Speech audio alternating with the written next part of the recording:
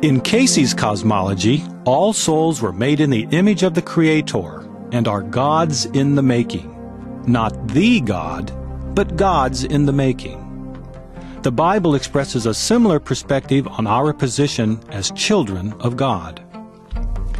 It is our will, the ability to make choices and act responsibly, or not, that provides the avenue for companionship and expression with the divine.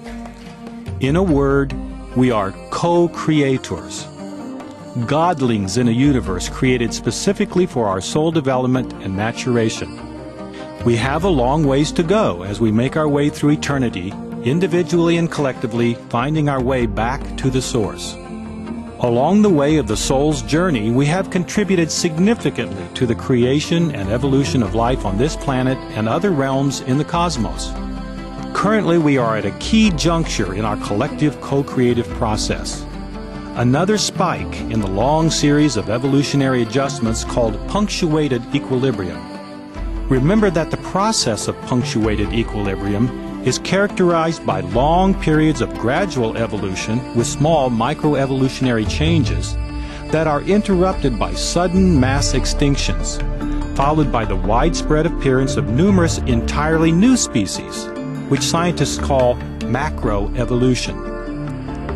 For the past several thousand years, humans have been practicing microevolution by creating new strains of domesticated animals that are adapted for our use and pleasure.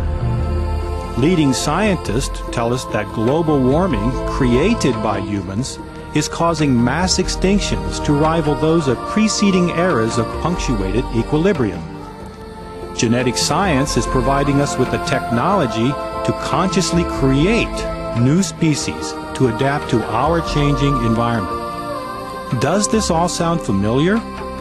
Regardless of whether you find Cayce's concept of co-creation convincing or not, clearly we are now co-creators in the evolutionary process of this planet.